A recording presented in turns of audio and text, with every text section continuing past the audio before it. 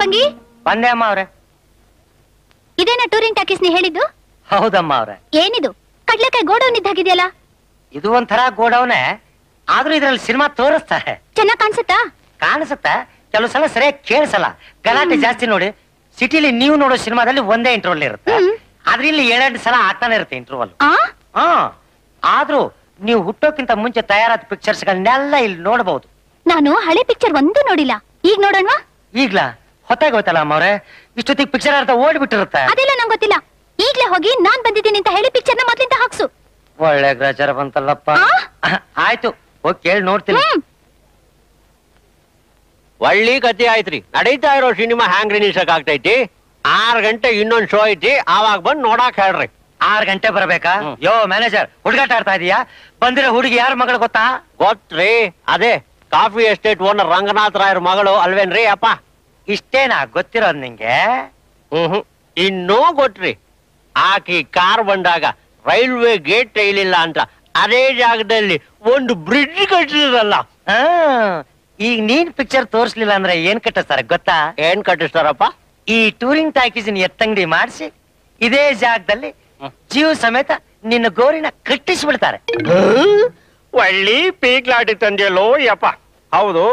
ಒಳಗ್ ಸಿನಿಮಾ ನೋಡ್ತಿರೋ ಮಂದಿನೆಲ್ಲ ಆಚೆ ಕಳ್ಸೋ ಹೆಂಗೋ ಶಿವನ ಯೋ ಮ್ಯಾನೇಜರ್ ಹಣ ನಾನ್ ಕೊಡ್ತೀನಿ. ತಲೆಗೆ ಇಪ್ಪತ್ತು ರೂಪಾಯಿ ಕೊಟ್ಟು ನಾಳೆ ಬಂದು ಪಿಕ್ಚರ್ ನೋಡ್ರಿ ಅಂದ್ರೆ ಆಯ್ತು. ಹ್ಮ್. ನೀನ್ ಹೋಗಿ ಸಿನಿಮಾ ನಿಲ್ಸು. ಹ್ಮ್. ಬಾಕಿದೆಲ್ಲ ನಾನ್ ನೋಡ್ಕೋತೀನಿ. ಹ್ಮ್ ಹೋಗೋ. ಆಯ್ತು ಯಪ್ಪ. ಲೇ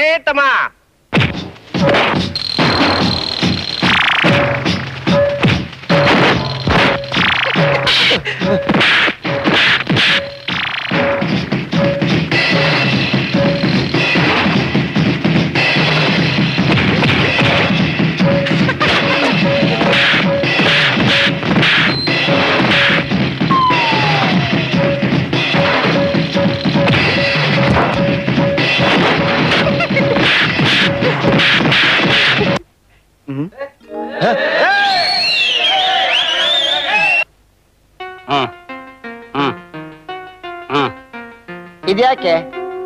ಇಪ್ಪತ್ತು ರೂಪಾಯಿ ಅದ. ಮಾಡಕ್ ಬಂದು ಎರಡು ಶೋ ನೋಡ್ರಲ್ಲ ಹೋಗ. ದಿನ ಹಿಂಗೆ ಕೊಡ್ತೀಯ? ಓಯ್ ಪಿಕ್ಚರ್ ಯಾಕೆ ನಿಲ್ಲಿಸ್ದೆ? ಇಪ್ಪತ್ ಇಪ್ಪತ್ತು ರೂಪಾಯಿ ಅದ ರೊಕ್ಕ. ಕಾಕ ಅಂಗಡಿಗೆ ಹೋಗಿ ರೊಟ್ಟಿ ತಲೆ ಮಾಂಸ ತಿಂದು ನಿದ್ದೆ ಮಾಡಿ ಆರು ಗಂಟೆ ಶೋಭಾ. ಹೋಗ. ತಲೆ ಆ, ಆ. ತಾಲಿ ಎಲ್ಲ ಮಾತಾಡಬೇಡ. ಕೇಳಿದ್ದಕ್ಕೆ ಜವಾಬ್ ಕೊಡು. ಪಿಕ್ಚರ್ ಯಾಕೆ ನಿಲ್ಲಿಸ್ದೆ? ನಮ್ಮ ಅಮ್ಮ ಅವ್ರು ಮೊದಲಿನಿಂದ ಪಿಕ್ಚರ್ ನೋಡ್ಬೇಕಂದ್ರು. ಇಪ್ಪತ್ತಲ್ಲ ಮೂವತ್ತು ತಗೊಂಡು ಜಗ ಖಾಲಿ ಮಾಡ್. ಹೋಗ್, ಹೋಗ್. ಅಮ್ಮ. ನಿನ್ ಯಾರೋ ಕೇಳಿದ್ರು ಕೋತಿ ಮುಂಡೆದೆ. ಸುಮ್ಮನೆ ನಿಂತ್ಕ. ಯಾವ ಮ್ಯಾನೇಜರ್? ಬಾರ ಇಲ್ಲಿ. ಅವ್ರು ಮಾತ್ರ ಕಾಸು ಕೊಡ್ತಾರೆ ನಾವೇನು ಕಲ್ಲು ಕೊಟ್ಟಿದ್ದು ಮರ್ಯಾದೆಯಾಗಿ ಪಿಕ್ಚರ್ ಹಾಕಿದ್ರೆ ಸರಿ. ಇಲ್ಲ ಅಂದ್ರೆ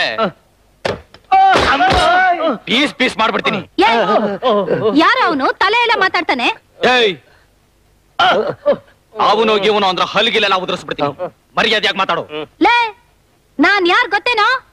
ನೀನ್ ಯಾರಾದ್ರೂ ನನಗೇನೆ? ಹೋಗ್ಗೆ ಲೇ. ಲೇ ನೀನು ನನ್ನ ಲೇ ಅಂತೀಯಾ? ಹೌದು ಕಣೆ ನಿನ್ನೆ. ಆ ಕಣೇನಾ? ಲೇ ನಿನ್ನ ನಿನ್ನ ಒಂದ್ ಕೈ ನೋಡ್ಕೋತೀನಿ. ಹೋಗಲೇ ನಿನ್ನಂಥವ್ರನ್ನ ಎಷ್ಟು ಜನ ನೋಡಿಲ್ಲ ನಾನು. ನೀನೇನ್ ಈ ಊರಿಗೆ ಎಲಜ್ ಬತ್ರ ನೀನ ಹೋಗೆ ಹೋಗೆ ಹೋಗಲೇ ಹೋಗ. ಅಮ್ಮ. ಹೋಗ. ಒಳಗೋಗಿ ಪಿಕ್ ಹೋಗ. ಹೋಗ. ಅಲ್ವೋ? ನನ್ನ ಮಗಳು ಆಫ್ಟರ್ ಆಲ್ ಒಂದು ಹಳೆ ಪಿಕ್ಚರ್ನ ಮೊದ್ಲಿಂದ ನೋಡೋದಕ್ ಬಿಡ್ಲಿಲ್ಲ ಅಂತ ಅಂದ್ರೆ ಆ ಟಾಕೀಸ್ ಊರಲ್ಲಿ ಯಾಕೋ ಇರ್ಬೇಕು? ನೀವ್ ಹಿಂಗೆ ಹೇಳ್ತೀರಂತ ನನಗೆ ಗೊತ್ತು ಯಜಮಾನ್ರೆ. ಅದಕ್ಕೆ ಆ ಟಾಕೀಸ್ ಮಾಲೀಕನ ಹತ್ರ ಹೋಗಿ ಅದ್ರ ಬೆಲೆ ಮಾತಾಡಿದ್ದೀನಿ. ಆದ್ರೆ ಲೈಸೆನ್ಸ್ ಎಲ್ಲ ಸೇರಿ ಮೂರ್ ಲಕ್ಷ ಹೇಳ್ತಾನೆ. ಏಯ್ ಮೂರ್ ಲಕ್ಷ ಯಾವ್ದು ಮಹಾ? ಇನ್ನೂ ಒಂದು ಲಕ್ಷ ರೂಪಾಯಿ ಜಾಸ್ತಿ ಆದ್ರೂ ಸರಿ. ಅವನು ಮುಖದ ಮೇಲೆ ಬಿಸಾಕಿ ಕೈಪತ್ರ ಬರೆಸಿ ಟಾಕೀಸಿಗೆ ಬೀಗ ಹಾಕ್ಸೋ ಖಾಲಿ ಬಿದ್ದಿದ್ವಿ ಅಷ್ಟು ಮಾಡಿದ್ರೆ ಸಾಲದು ಡ್ಯಾಡಿ? ಥಿಯೇಟರ್ ಹತ್ರ ಯಾವನೋ ಭಿಕಾರಿ ನನ್ನ ಹತ್ರ ಮರ್ಯಾದೆ ಇಲ್ಲದೆ ಮಾತಾಡ್ದ. ಅವನ್ನ ಮಾತ್ರ ಸುಮ್ಮನೆ ಬಿಡಬಾರ್ದು. ಯಾರು ಅವನು? ಅದನ್ನು ತಿಳ್ಕೊಂಡು ಬಂದಿದ್ದೀನಿ ಯಜಮಾನ್ರೆ. ಅವನ ಹೆಸರು ಆನಂದ್ ಅಂತ. ಆ ಮಿಲಿಟರಿ ರುದ್ರಪ್ಪನ ಹತ್ರ ಕೂಲಿ ಕೆಲಸ ಮಾಡ್ಕೊಂಡಿದ್ದಾನೆ. ಕೂಲಿ ಕೆಲಸ ಮಾಡೋನ್ಗೆ ಅಷ್ಟೊಂದು ದುರಹಂಕಾರನ? ಹೌದು ಡ್ಯಾಡಿ. ಅವನನ್ನ ನನ್ನ ಹೋಗೆಲ್ಲೇ ಅಂದ್ಬಿಟ್ಟ. ಏನು? ಹೋಗಿ ಲೇ ಅವನ್ನ ಅಷ್ಟೇನಾ? ಇನ್ನು ಏನೇನೋ ಅಂದದ್ದೆಲ್ಲ ನನ್ನ ಕಿವಿಗೆ ಬಿತ್ತು. ಅದನ್ನೆಲ್ಲ ಕೇಳಿಸ್ಕೊಂಡು ನೀನ್ ಸುಮ್ನೆ ನಿಂತಿದ್ದೇನೋ ಬೇಕುಫಾ. ನಾನ್ ಸುಮ್ನೆ ಇರ್ತೀನ? ಅವನ ಹೆಸರು ಕುಲ ಗೋತ್ರ ಎಲ್ಲಾ ವಿಚಾರಿಸ್ಕೊಂಡು ಬಂದಿದ್ದೇನೆ ಯಜಮಾನ್ರೆ. ನೀವು ಅಪ್ಳೆ ಕೊಟ್ರೆ ಮನೆ ಬಾಗಿಲು ಕಾಯ್ಲಿಕ್ಕೆ ಈಗ ಎಂಟು ಜನ ಇದಾರಲ್ಲ ಅವ್ರ ಜೊತೆ ಇವನಿಗೂ ಸಂಬಳ ಫಿಕ್ಸ್ ಮಾಡಿ ಬಾಗಿಲು ಕಾಯ್ದಕ್ಕೆ ಹಾಕ್ತಾನೆ. ಬರೀ ಬಾಗಿಲು ಕಾಯೋದಲ್ಲ ಅವನು ನನ್ ಬೂಟ್ ಪಾಲಿಶ್ ಮಾಡ್ಬೇಕು. ನಾನ್ ಬಿಚ್ಚ ಹಾಕಿದ್ ಬಟ್ಟೆ ಒಗಿಬೇಕು. ನಾನ್ ಊಟ ಮಾಡಿ ತಟ್ಟೆ ತೊಳಿಬೇಕು. ಗೊತ್ತಾಯ್ತಾ? ನನ್ನ ಮಗಳ ಹೇಳಿದ ಮೇಲೆ ಮುಗಿದೋಯ್ತು. ಅವಳು ಏನ್ ಹೇಳಿದ್ರು